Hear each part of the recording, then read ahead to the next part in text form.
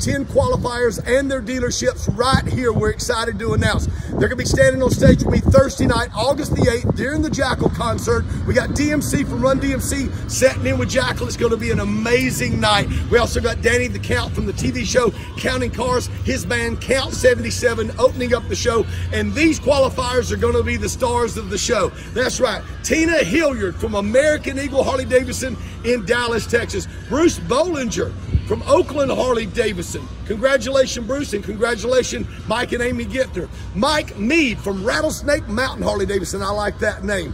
Philip Calicino, Bear Sports Center Incorporated Harley Davidson. That's right. We have Michael Hendrickson, Thunderbird Harley Davidson. Our brother Sean, you got to come to Sturgis now. That's what I'm talking about. Renee Ballinger, Pikes Peak Harley Davidson. Karina Hernandez, Roughneck Harley Davidson. Anthony Petrovic, Gateway Harley Davidson. That means Matt's going to have to be out there too.